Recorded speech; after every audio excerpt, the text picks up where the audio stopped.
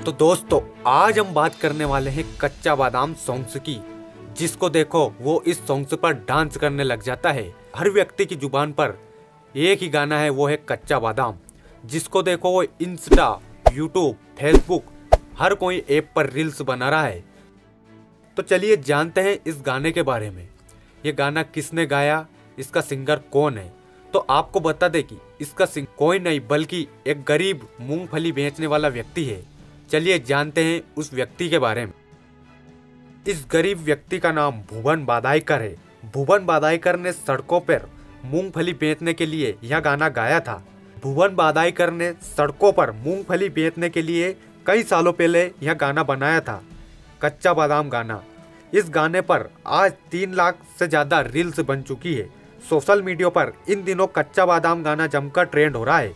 बंगाली भाषा में बने इस गाने की रिलिक्स भले ही लोगों की समझ से परे है, लेकिन यह गाना पूरे देश के जहन में बस चुका है।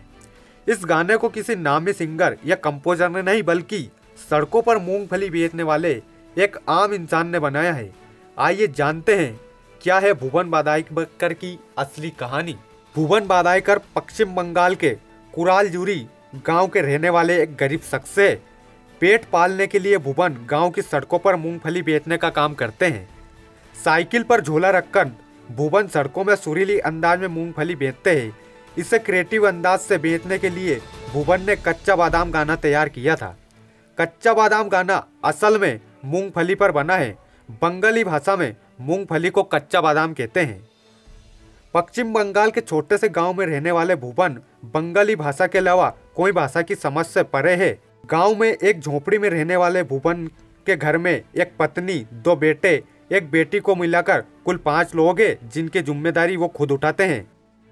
रोज़ाना तीन से चार किलो मूंगफली बेचने के बावजूद भुवन महज 200 से ढाई सौ रुपया जमा कर पाते हैं। पॉपुलैरिटी मिलने के बाद भुवन ने बताया कि उन्होंने सड़कों पर लोगों को आकर्षित करने के लिए 10 साल पहले कच्चा बादाम गाना बनाया था।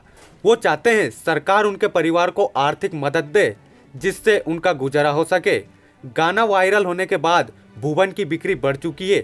चुनाव के दौरान उन्हें कैंपेन का हिस्सा भी बनाया गया।